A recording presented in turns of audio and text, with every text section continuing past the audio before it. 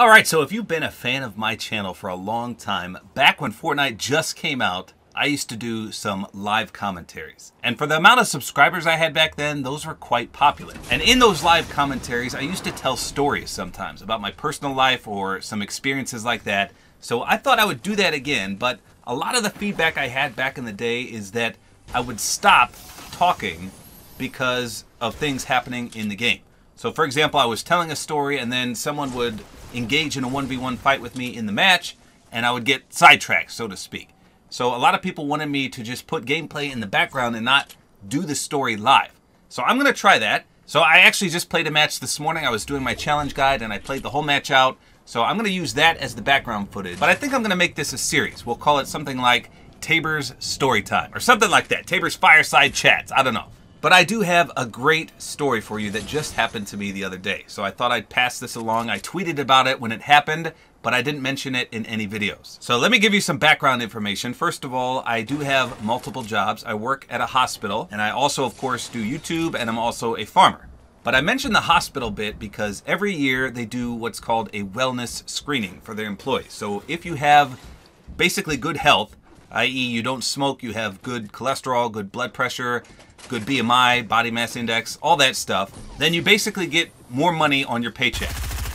Well, anyway, part of this wellness screening includes a blood draw, and that, of course, is to check all those levels that I just mentioned, the cholesterol and all that stuff. So I'll be straightforward here. I am a sissy Barbie girl when it comes to anything needles. I could poke someone with a needle, but me receiving, uh, for example, blood draw, not gonna happen. I absolutely hate it, and it's always been like that. I remember when I got viciously attacked by yellow jackets, those are bees, when I was young. My brother actually kicked a beehive and then he ran.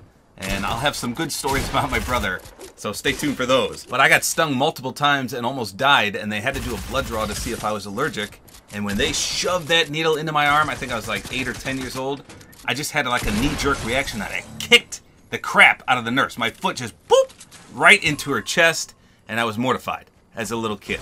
But it's always been like that. I get petrified of shots, blood draws, anything needle related. I got both COVID vaccines and I was a sissy for those as well. So every time I get my blood drawn, it's just panic central. But I've never really had any issue with it. I just get, you know, nervous, scared. And I have it done and it's all over. Nothing to worry about. So this time, my wife also works at the hospital, so we went together to this wellness screening. And of course, they took our blood pressure, they took all our weight and all that stuff. And then it was time for the blood draw. So I said to my wife, will you go back there and hold my hand with me? And she said, heck no, she's not going back. So she went back first and she got everything done and she came back out and then it was my turn. And as we were passing each other, I said, did you warn her that I'm a sissy? And she says, yep, sure did. So I go back there and the girl's trying to chat it up with me. She's an older lady. She said she's been doing this for 30 plus years and don't worry about it.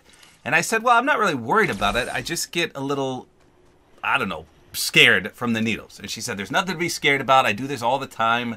Don't worry. And so she's trying to chat it up with me. And she sits me down in the chair. And normally, when I get a blood draw, sometimes they lay me down because they don't know what's going to happen. And sometimes they even give me grape juice. Can you imagine this? A grown man getting grape juice because I'm such a sissy. But none of that happened this time. She just sat me in a chair and she started talking to me, and I started talking about the fair and other things like that and she starts putting the tourniquet around and just chatting it up, ideally. But then another nurse walks in. She asks the girl who's tending to me a few questions about another patient. And I think this is what triggered it for me because now they're talking back and forth and she's still continuing to prep. She starts wiping my veins to prep for the blood draw. And in the meantime, she's not looking at me or my arm. She's literally talking to this other nurse. And for some reason, that kind of triggered me to be super anxious. So I'm sitting there, and when I get nervous, I kind of tap my leg back and forth, and she looks at me doing that, and she just says, Well, you need to calm down a little bit, just hold still, deep breaths. And meanwhile, she's still conversing with this other nurse, and then she says, Quick poke. So she pokes me, and I'm not gonna lie, it hurt a little bit. So I've had my blood drawn in the past, like I said, and I really haven't had any issues, just the getting there and actually sitting down to do it. But this time it kind of stung just a little bit, almost like getting stung by a bee. And in the meantime, she's still conversing with this nurse. And like I said, I think that's what triggered me. So I'm just sitting there waiting for this to be over, and I can just feel the blood draining. She must have taken like five vials.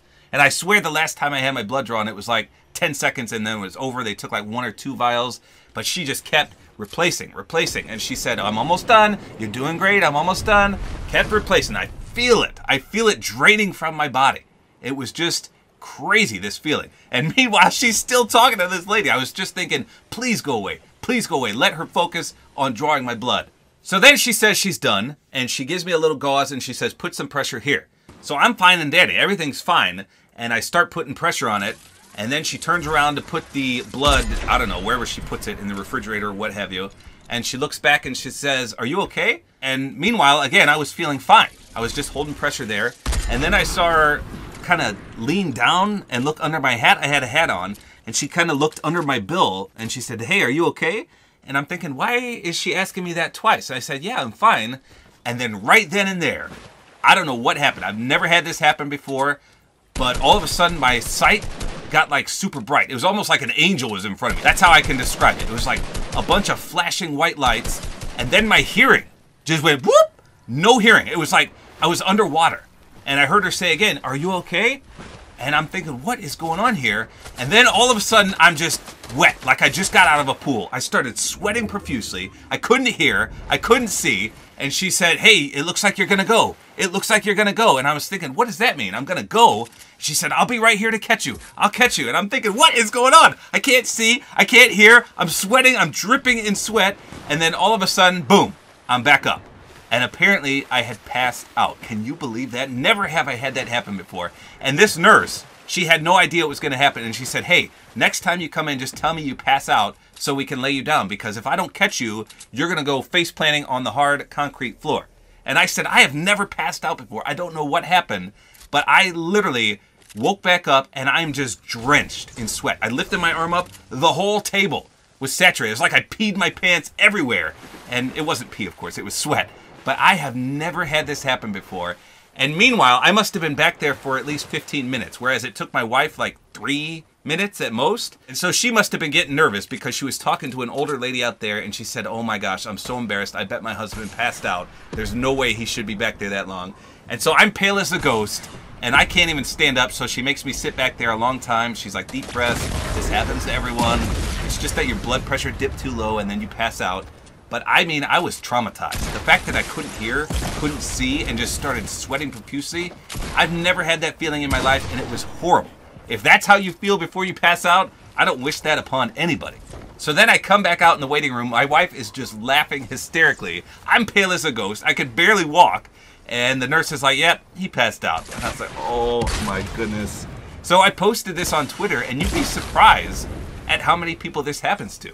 Like I said, I am a sissy with needles, but never have I passed out. I've had hundreds of blood draws in my life, and this is the first time. So now I'm mortified. I'm petrified of going back. If this happens again, I don't want it to happen again, so I don't want to get another blood draw, but I eventually am going to have to get another one. We do this every single year, so hopefully this doesn't happen again, but I'm going to have to lay down next time I get my blood drawn. So there's the story. That's me being a baby when it comes to getting a blood draw. First time in my life, and I was mortified. So there you go. There's episode one of Story Time with Tabor Hill. Let me know in the comments if you enjoyed this or if you want more. I actually had an idea about this. I was gonna illustrate the stories as I tell them, but that would take a lot of work. I mean, a lot of work. I'm not the best drawer, but I think it would be hilarious if I literally illustrated the stories with my own drawings. But right now we're just using gameplay. Maybe I'll use some nostalgic gameplay in the future or maybe even a different game. Let me know what you guys think or what you want to see in the background as I tell my stories. So there you go. That's all there is to it. Hopefully you guys enjoyed this video. A like is always appreciated. And don't forget to use my supporter creator code, which is Tabor Time.